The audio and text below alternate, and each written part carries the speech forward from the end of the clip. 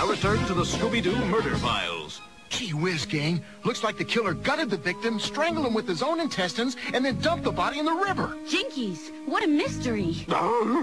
You're right, Scoob. We're dealing with one sick son of a bitch.